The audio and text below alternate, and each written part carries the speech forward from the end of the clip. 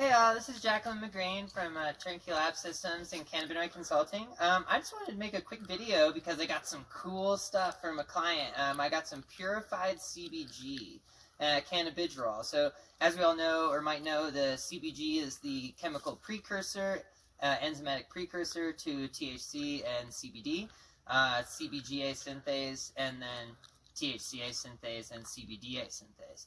And so, um, cannabigerol is not very well studied. Um, it's a very interesting molecule. It has kind of different effects, very different effects than THC. It's non-psychoactive. It's actually a CB1 antagonist, which is pretty interesting. Um, it does have CB1 and CB2 binding affinity. Um, so I think it's going to have fairly similar effects to CBG, at least uh, psychotropically.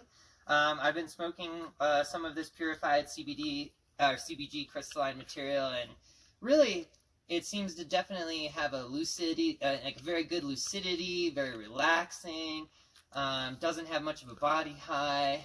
It's definitely a very relaxing kind of CBD-like experience. And so, um, CBG um, has been not very well studied, like I said, but it has shown um, some really excellent effects medicinally. For example, anti-inflammatory, especially as CBGA.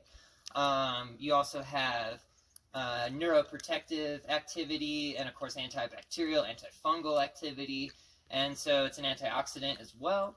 And so it may end up being a really excellent nutraceutical. And then, of course, you know, it has, you know, synergistic effects with the other cannabinoids. As we all know, you know, CBD plus THC plus a little bit of CBN, you know, when you get these broad spectrum products, they're going to have much more, much more medicinally efficacious. And so, um, I think CBG is going to be the next big cannabinoid. Personally, um, its effects are very moderate psychotropically, but it does have very excellent neuroprotective and anti-inflammatory effects that will be beneficial for patients who want to use it as a medicine or a nutraceutical. And of course, being an antioxidant and antibacterial, that's going to be very helpful for just general health in general. And so, um, just some interesting things about CBG.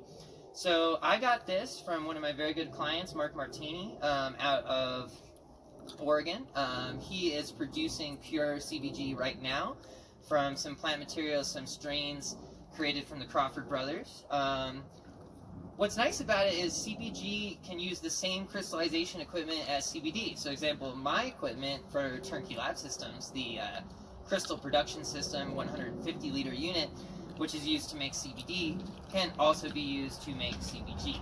And so as long as you have a potency that's high enough to um, do crystallization, which in distillate is actually quite lower than CBD, um, you can make crystalline CBG using the same techniques. And so the crystals are actually beautiful. I'll bring them kind of up to the camera here. And you can see it's a white powder and it forms like very hair-like projections. It's really a fascinating kind of crystal structure. It looks kind of like asbestos, and so here I can kind of take some out here, show it to you guys. Oh, oh man, super rare, and I'm spilling it on the ground. So you can kind of see here, really interesting kind of light, super fluffy crystal. And so I have some in my pen right now, which uh, I have been smoking it, so pretty good.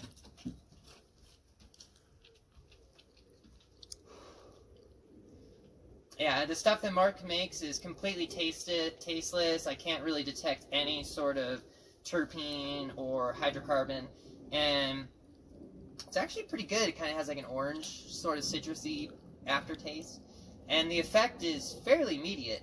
You know, I find myself feeling much more relaxed, much more lucid, um, it definitely reduces the effect of THC. I smoked a bunch of THC earlier this evening, and I definitely feel that, like, you know, high kind of decreasing by the second. And so, yeah, just kind of very interesting effect. It's almost like CBD. It's very similar to CBD. And so, anyway, I highly suggest this. Um, if you get a chance to try it, I would um, definitely support that. And I really think that CBG is going to be, you know, the next big cannabinoid. CBG or CBN, one of the two. Possibly CBC. Those are the next three, anyway. well, um, thank you for your time, and hope this was helpful. Cheers.